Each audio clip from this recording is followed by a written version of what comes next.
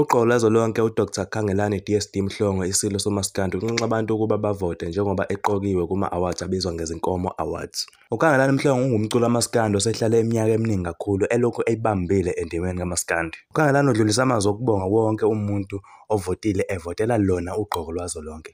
Ubese ekhumbuza abantu ukuthi ukuvota kuyavalwa, so ucela abantu beqhubeke bavote kakhulu kunakuqala. Abantu befake igiya lokugcina cause kuyavalwa ukuvota and le-award kumele ibuyile ekhaya. Uthe ukuwina kwakhe le-award noma le ndondo kuyosho okukhulu kuyena kanye nakumaskandi wonkana, so uyacela aphiwe ivoti okokugcina bese silinda usuku lwemiphumela sibone ukuthi lusiphatheleni. UKhangelani wathembisa ukuthi uma engavotelwa awine le ndondo ngeke angabaze noma kumsinde ukufika nayo emcimbini omkhulu egcwala ese-Spring Picnic.